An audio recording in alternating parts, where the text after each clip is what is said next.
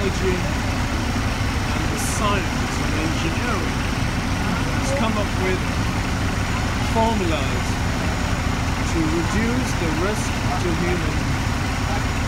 And this is exactly what we should learn and teach our kids to be aware of.